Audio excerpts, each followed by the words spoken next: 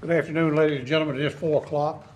It's time to begin our September second afternoon meeting of the strategic planning. And at this time, the first on the agenda is a progr- progression update of Highway seventy-four. Hi, uh, I'm Donald Simpson. Uh, I am uh, representing HNTB. Uh, I used to work for them and I thought I retired, but they made me keep working, so uh, I'm here. Uh, We had given you a presentation on this, gosh, it's, it was sometime last summer, I think, a year ago.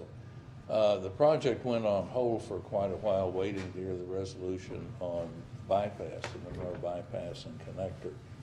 Uh, and they finally got a record of decision, uh, and I guess it was in late June or July of this year. Uh, and so we got back on track, got, uh, comments from the town staffs and have incorporated those into the presentation. So this is, uh, this is the final plan, uh, pending any comments that we get from you this evening that might change that. Uh, as a reminder, the project is uh, US 74 from basically the Union County line just, uh, just southeast of Interstate uh, 485 uh, through Stallings Indian Trail and Monroe to the Monroe city limits.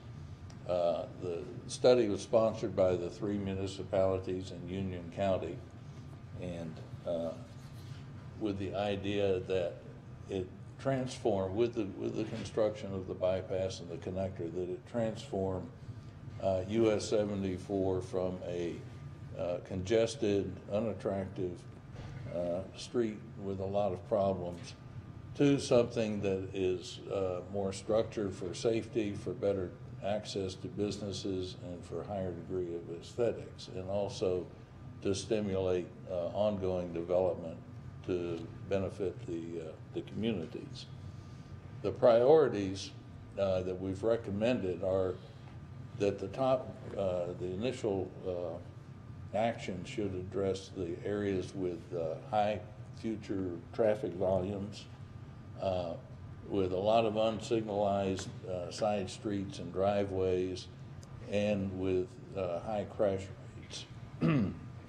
You'll notice on this map that most of those are in Monroe. And so, before. we have, we've uh, proposed a lot of actions, uh, not all of which will be easy, but all of which uh, can be implemented uh, to try to address these. Moving from uh, the Indian Trail Monroe uh, boundary at Laurel Creek, the proposal is that seventy-four be a four-lane boulevard with uh, what we've called a multi-way boulevard through the area that in your current land use plan is designated as a regional retail node surrounded by a traditional neighborhood development. And that Rocky River Road uh, out to the bypass be a four-lane suburban boulevard. Uh, a multi-way boulevard, as we're calling it, is something that's being, begun to be implemented around the country in a few places. It's not extensive yet, but uh, areas with comparable traffic volumes and issues have done this. This is uh, an example in, uh, in California, the south of, on the San Francisco Peninsula, where they've taken a big boulevard and they have added uh, on-street parking in front of the stores that's separated from the through traffic. So the idea is that businesses get to be served by uh, slower speed traffic and on-street parking at their front door, but they're separated from the through traffic, so you eliminate some of those, uh, some of those conflicts. Another example of this is in St. Petersburg, Florida, on uh, Tyrone Boulevard, uh, where they have, they didn't do the angle parking, uh, they just uh, have on-street parking in front of the existing businesses. So this is more of a, a phased development. Uh, From Wilson Avenue to Williams Road, uh, through the area around Poplin Place and Rolling Hills Country Club, uh, it would, the, the four-lane suburban boulevard would carry the projected traffic volumes, which after the bypass is built and with ongoing growth in the county, uh, we expect in twenty years to be about what they are now, back to around sixty to sixty-five thousand cars a day. Uh, You'll remember that, that in an earlier version, we had a, uh, a proposal to connect uh, uh, streets into Poplin Place and through the businesses. Um, That didn't get a good reception from the city or the staff, so we've eliminated that.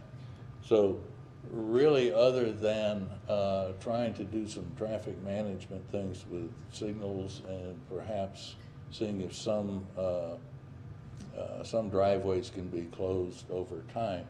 Uh, This would not change substantially. Williams Road to Stafford Street, which gets into the heart of where the biggest traffic issues are in Monroe, uh, could remain uh, mostly four-lane boulevard, but would have to be six lanes in some areas.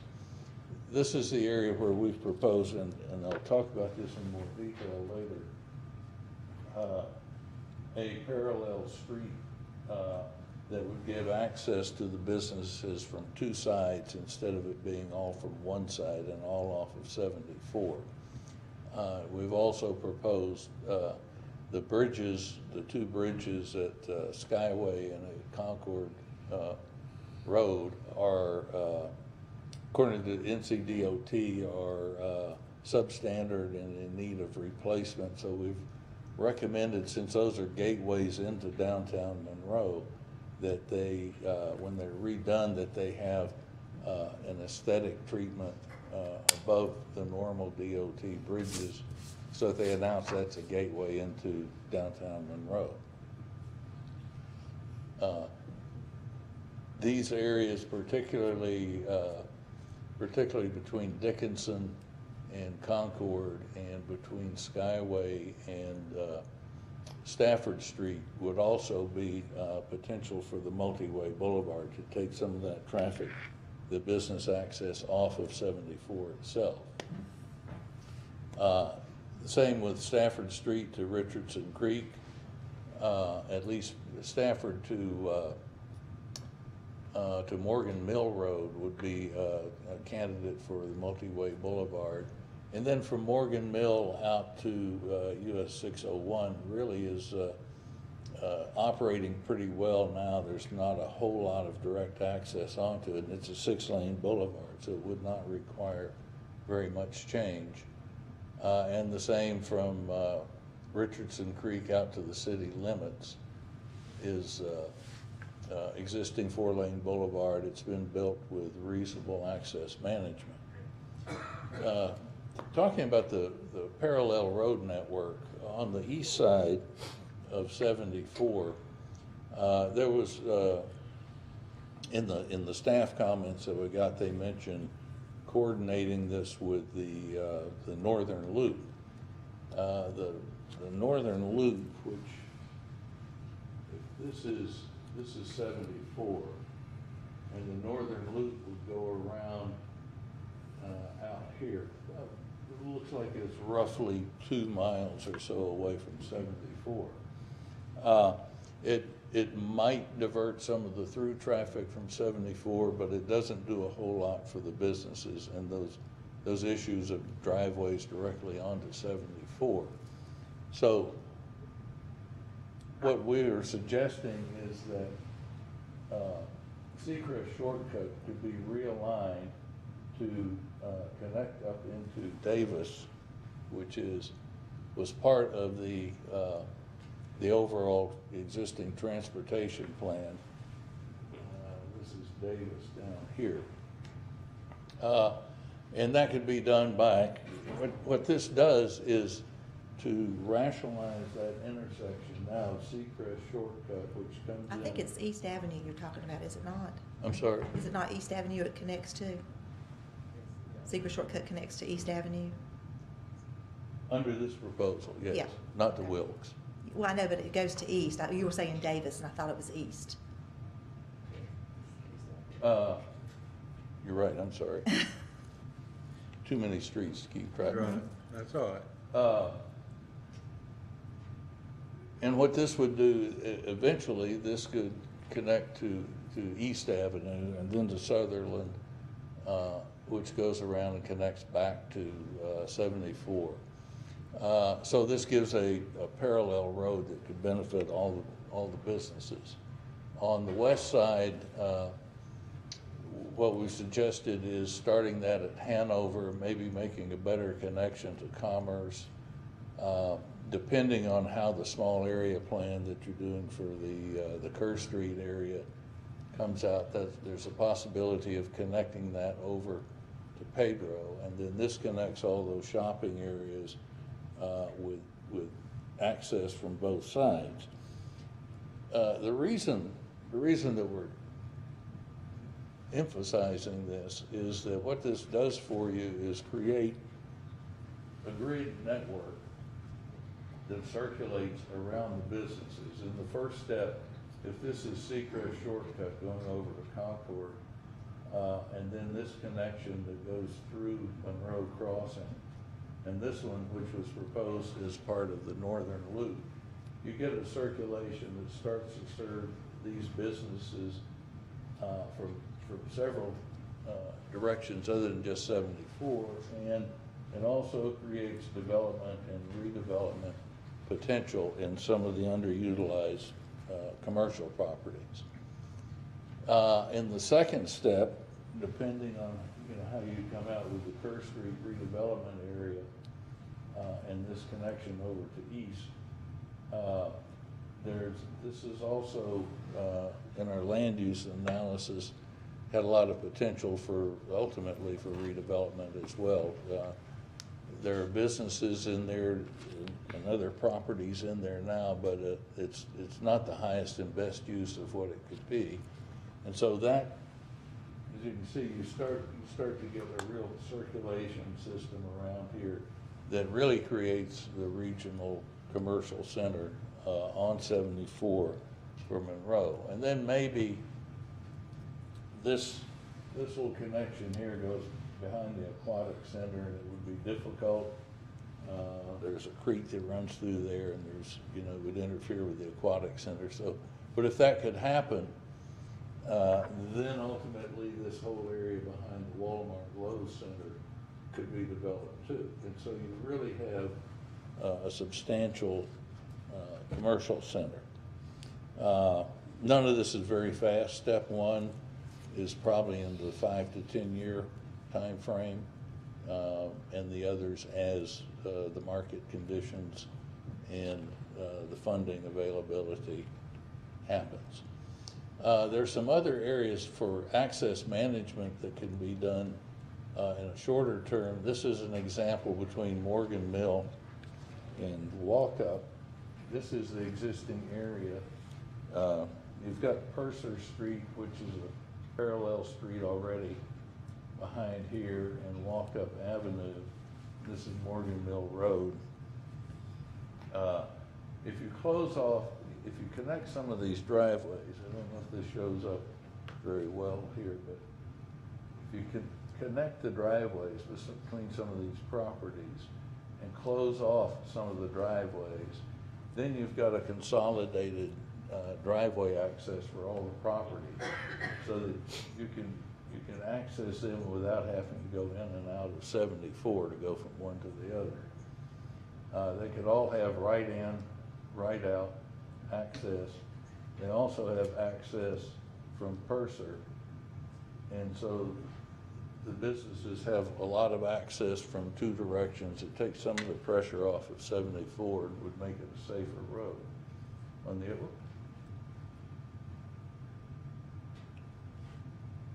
on the other side, let's see if I get back, clever little animation here.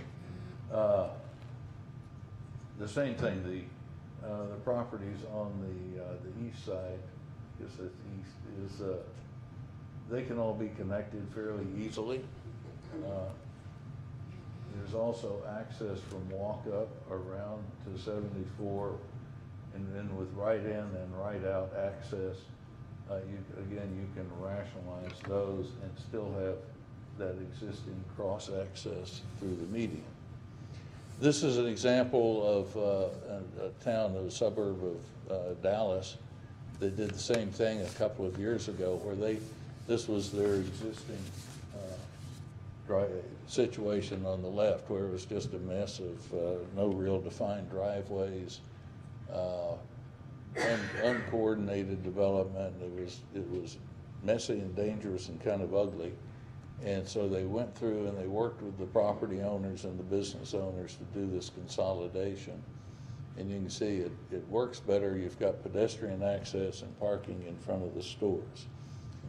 Uh, For aesthetics overall in the corridor, the, the, uh, the bypass has proposed a very high standard of, uh, of roads for gateways. Uh, Those are the two examples on the front of what the bridges would look like, and those would be gateways into Monroe. And then for uh, the bridges at uh, Skyway and Concord, uh, there are other examples of aesthetic treatments that can be done uh, without major structural modifications to the bridges. Uh, Would recommend local gateways. Uh, Some, Indian Trail has already started with a wayfinding program and started putting some of those in place. And then corridor enhancements can be done with landscaping, banners, to make the whole area more attractive so that as some of that traffic pressure is relieved by the bypass, then uh, this can become more of a main street for Monroe instead of a through highway. Uh, And the intersection treatments can uh, provide for better uh, pedestrian crossings and parking.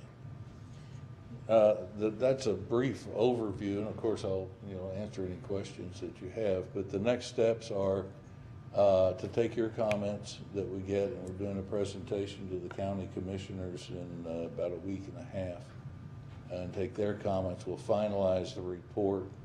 Uh, There is, uh, some of the staff have suggested that uh, you may or may not want to have a resolution. We drafted one that basically said that uh, that you might take this under advisement for input to your land use plan update. We, uh, we were fortunate in, in doing this, that we happen to be doing Indian Trails uh, comprehensive plan update at the same time. So uh, they were double dipping. They got more attention than the other communities because we were working on two parts of it. And so virtually all the recommendations that we made have been incorporated into their comprehensive plan. And I think because you're about to undertake one, uh, an update of both the, the land use and the transportation plan, this would be an opportunity to look at these recommendations more detailed, make sure they work with the overall community. Uh, and hopefully that this will become a valuable input to that. Mayor, I want to thank Mr. Simpson for his time and for this presentation, but I would like for us not to take any action on this simply because we are updating our land use plan, and you made several comments in there about the current plan, and that's what this is based on. And we also have a transportation component along with our land use plan, so I would like for this council not to take any action at this time until we get through the land use plan to make sure it's going to work for Monroe. So with that being said, if we need a motion, I can make a motion. Okay, that's your motion? I'll make a motion then. I have a second. I'll second. All in favor? Any opposed? Okay, that will pass, we'll hold on that. Uh, the council have any questions for Mr. Simpson? Comments? No, there are some parts of it I like, but I just think we need to Well, wait. it, it does, and he's aware of it, ties in with our Carr Yeah. Street. Yeah, uh, and so we're, we're working on the Carr Street redesign and- redevelopment Right. now too. That's something else that's still in the works as well, so you're right in advising us to take all of that into consideration with this. I, I think that's probably the best approach, frankly. I mean, if, if you weren't about to undertake that, it'd be a different situation. But it really gives you a chance to dig into it in more detail and coordinate it, and I'm sure that you can improve on it. Very good. Any other question or comments? Here none. Mr. Simpson, thank you so much for coming down and meeting with us to bring us up to date. Well, thank you very much. It's been a pleasure working on it with you. And uh, I think actually I'm going to be a part of the land use and transportation plan, so I look forward to coming back and Great. That'd be helping good. you Thank you. refine it. That'd be great. Look forward to having you back, Mr. Simpson. Thank you so much. Uh, item two is authorization, uh, execution of Center Theater letter of intent.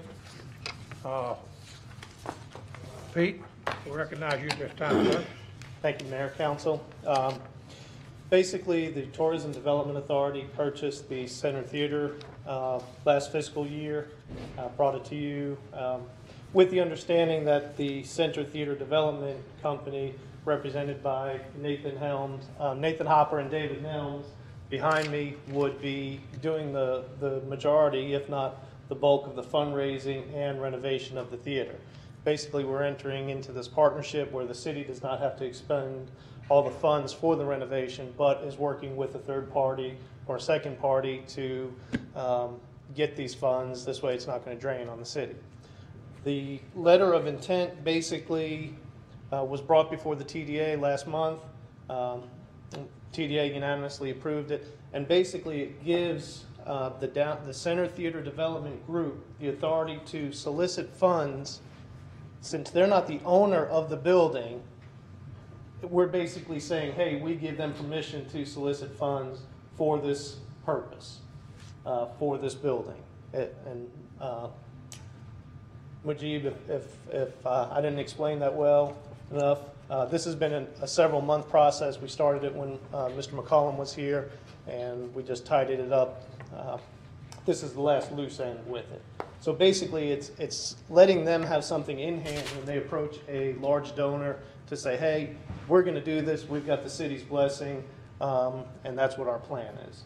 So I'll answer any questions you may have of this, or Nathan and and David said they're welcome to any questions that they could answer at this time regarding the renovation of the theater. Mayor, if I might, the reason we asked this to come before the council today is that while council agreed and blessed the purchase of the theater, it wasn't clear that council had gone so far as to say, we're going to ask these folks to have the ability to do this level of development. So we felt as staff that it was appropriate to bring it back to you just to make sure that if you agree this is the right route to go, that we had the consent of council. And so um, both Brian, Pete, and I, and Greg uh, sat down and, and determined that that was a way we would recommend to bring it back to you. So that's why it is here before you today. I don't have a problem making a motion for authorization and execution, and then I'd like for Nathan to answer some questions. Second. Question or comments? Would Nathan or Mr. Hopper, either one like to address it? They got anything they'd like to I ran into Nathan at the store and I said, we're really excited about this, so I told him to be prepared to answer some questions or tell us a little bit what they're doing. Thank you, Ms. Nash. Be glad to. Uh, We're very excited about this. We- always feel like we wish it could move twice as fast. We do. But we are, we have been planning this for probably seven years. And uh, it seems to have recently gone public, but we've been working on it for a very long time. We've got a wonderful vision and a dream about, of what this could be as multi-use purpose as possible. Uh, Live shows, movies, uh, meetings, conferences, uh, lots of different venues in order to do whatever you might need to do, hopefully. Uh, We're working on the Save the Center fundraising campaign, which will kick off soon. We, uh, we're kind of holding back until we had this letter approved. Uh, As Pete said, we can gather local funds.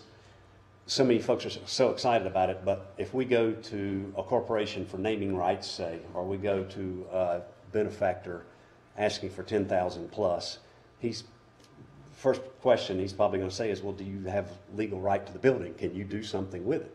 So that's our next step before we really pull the train out of the station. Any questions? Any questions? Be glad. Just want to say thank you, Nathan and Mr. Hopper, for what y'all do. But you've already put a lot of hard work into it, and I know there's a lot of hard work coming, but it'll really be good for our, our city. Oh, we sure do. Downtown particularly, but our city as a, and county as a whole. Yeah. So thank you for what you folks are doing. Thank you, Mr. Mayor. So, Thank Mayor, The, the letter is, letter of intent is the first step, and then we'll be working with uh, Mujeeb, Greg, Brian to iron out a lease agreement as well with these individuals so they can actually physically do work in the city-owned building. Okay, so, any other questions? I've got a motion. And a second. Okay, motion to second, all in favor? Aye. Any opposed? Hearing none, that's approved. Thank you, gentlemen. Item three, discussion of downtown grant program. Mr. Bryan, sir? Good afternoon, Mayor, Council. Um,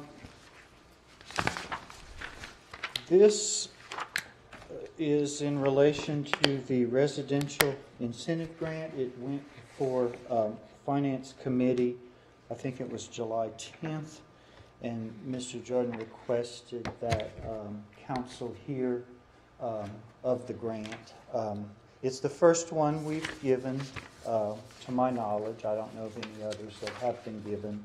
Uh, So I wanted to bring you up to speed on what this grant is and what it does in relation to this project, the application that we have in hand. O- On your chairs, I put um, just an outline of all of the different grants we do offer in the downtown. Some of you may have not seen that yet as new members of council, so that's there for your reference. And I'd be glad to answer any questions you have on that. But we do have a request for um, 211 and 201 North Main Street. It is a residential incentive grant request. Uh, Basically, this grant is for the creation of upper floor residential units. Um, It is in line with the master plan. Um, It provides up to twenty dollars per hundred or twenty percent of the assessed value as the grant. Um, So you can go up to that value in its current assessed value. Um, The rehabilitation expense must exceed two times the amount of the grant that we award. So if, if, basically, if you're getting a hundred dollars, you have to expend two hundred to get the hundred. Um,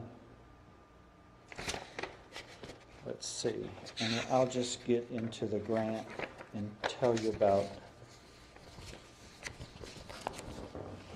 Just to clarify what you said now, that's the residential incentive grant that you've received for that. correct, grant. it's creating upper floor residential apartments. Which building is two oh one? This is, let me show you, I'm pulling out the map right now, Mayor. I brought too many papers. I think I know, but I'm not sure on the tip of my- It is, it's part of the old, um, old Belk building. That's the elevation. Okay. The front facade. The five units, as you can see, you have five, one, two, three, four, and five, five units. This portion here will not be developed yet, so it's basically, um, you know, a good bit of the upper floor of the two or three build, two buildings there.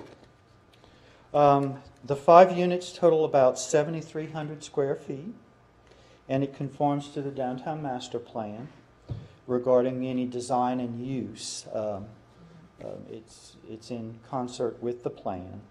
Um, And the improvements do, uh, as proposed, do have a significant effect on the revitalization of our downtown. Uh, It will stimulate the economy, promote business, and create jobs in the construction sector and will also um, you know, uh, increase property values and utility usage. Otherwise, vacant building, you have none of that. The grant request is for the full 20%, which would equate to $105,219. The total project cost is estimated at um, three hundred.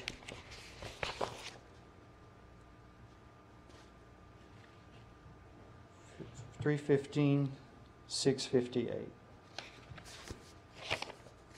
Yeah. Now, the total This for has five- been, Total this, for the five units is three fifteen? uh-huh, Three hundred fifteen thousand. yes. Well, So that wouldn't be sixty thousand, would it? No, the estimate, that's, Okay, let me, let me go. back. Brian's got so much paperwork there. I'll- I'm, I'm, I've got to find where I'm at. here. Okay, I'm just, Okay. So the minimum private investment, which means the developer would have to contribute,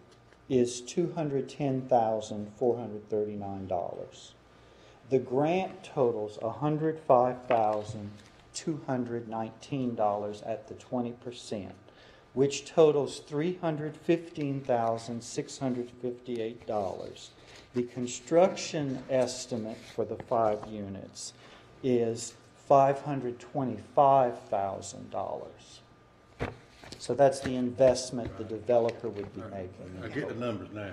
Yeah, let me, I had to clarify that because I, when it came out, it wasn't Are you right. saying it's gonna cost five hundred and Five hundred twenty-five thousand dollars. Is that hard and soft cost? Is that hard and soft cost, Tom? keep Or it? just hard cost?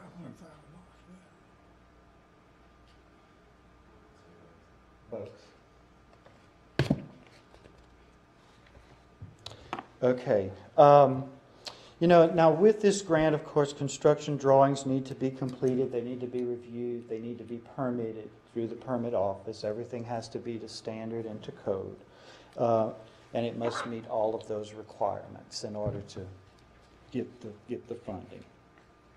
Um, The project is over, um, according to the grant, a time span of one year. However, uh, more time could be requested if needed.